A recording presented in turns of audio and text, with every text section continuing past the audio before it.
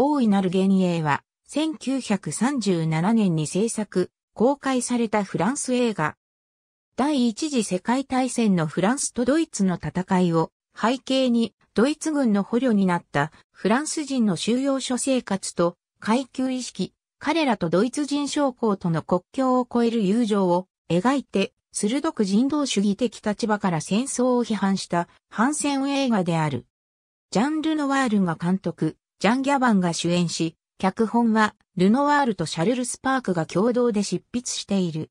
作品は高く評価されて、数々の映画賞を受賞、第11回アカデミー賞作品賞にもノミネートされた。日本では1938年に輸入された際、検閲により上映禁止となり、第二次世界大戦後の1949年に公開が実現した。この年のキネマ旬報ベスト10第2位にランクインされている。ランキング以下は日本でのランキングルノアールは従来の戦争映画が娯楽中心の安直な愛国精神を歌ったものばかりなのに不満を持ち、戦闘員たちの真実の姿を描く作品を作ろうと自らの戦争体験をもとに原型を作っていった。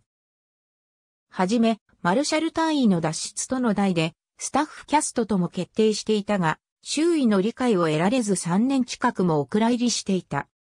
悩んだルノアールは、友人の監督ジュリアン・デュビビエに作品を譲ろうとしたが、こんな兵隊だらけの映画はつまらんと断られ、仕方ない。私が作るしかない。と決めたと自伝で述べている。タイトルも容易に決まらず、撮影編集が済んだ時点で半ばいい加減な形で、大いなる幻影と決められた。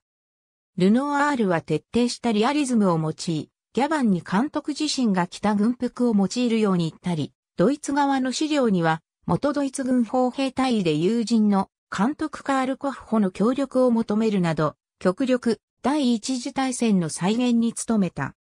だが、シュトロハイムの軍服を事実よりも過敏にするなど、演出上いくつかの点では写実を排するなどし、その理由を良い作品を作り上げるためにどうしてもその部分が夢の要素を幾分なりとも含んでいることが私にとっては必要だとルノアールは述べている。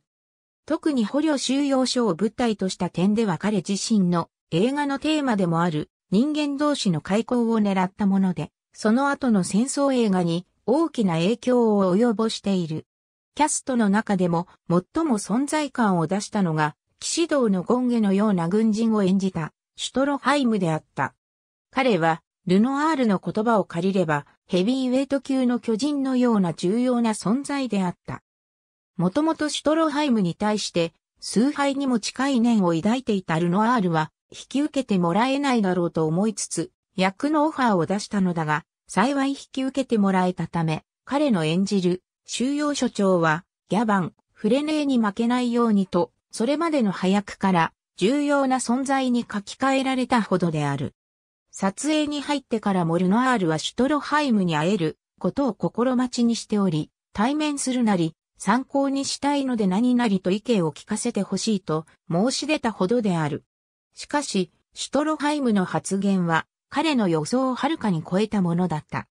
最初の撮影は冒頭の主歩の場面でだったが、彼はどうして売春婦がいないのかと言い出したのだ。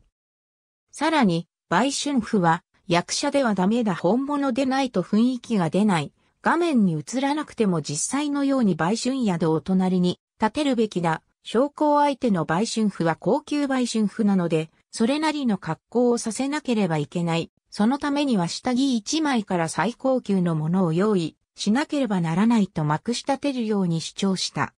ルノアールはあまりのことに泣き出し、私にはとてもそこまではできません。この作品はあなたにお譲りしますので、ぜひご自分で監督なさってくださいと申し出た。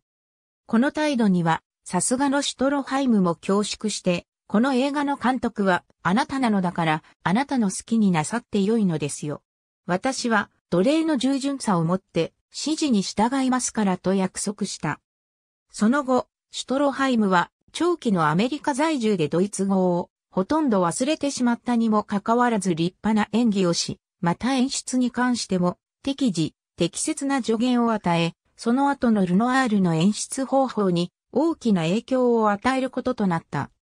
ルノアールの評価発表当時センセーショナルな反響を呼び、ルーズベルト大統領は、世界の民主主義者は見るべきだ。と称賛したが、ドイツ、イタリアなどのファシスト国家では、反戦的人道的内容が批判され、ゲッペルスは民衆に敵対する映画第1位と批判、フランス国内でも上演禁止騒ぎが起こるなど、賛否両論を引き起こした。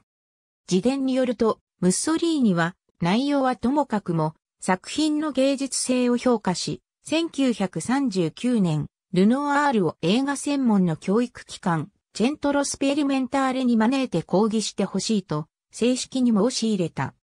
フランス政府は、当時中立を保っていた、イタリアの機嫌を損ねたくないとの意向もあって、ルノワールはイタリアに向かって抗議を行った。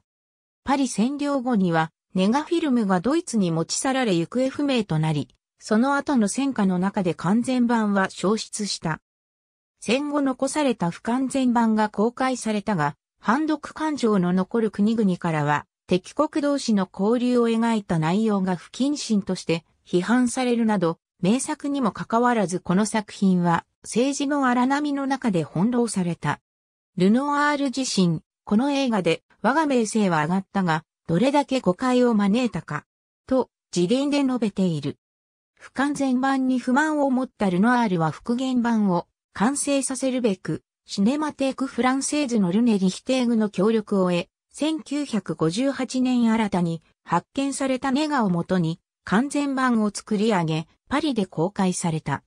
この年の国際優秀映画祭では5位に入賞新たにその価値が見直された。1976年、東京岩波ホールでルノアール編集の完全版が公開された。さらにソ連崩壊後、ネガフィルムがモスクワのフィルムアーカイブで発見され復元後、オリジナル完成時の姿で公開された。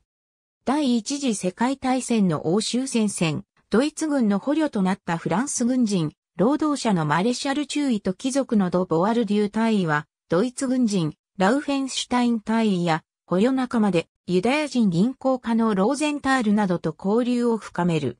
やがて祖国のために脱出を繰り返し、ボアルデューはラウフェンシュタインによって射殺され、マルシャルはローゼンタールと共にドイツ国内を逃げ回る。その中で民族とは、階級とは、戦争の悲惨さ、国家とは、などの様々なテーマが浮かび上がる。ジャンルの R、自伝、西本英二役、ミスズ処方1977。ありがとうございます。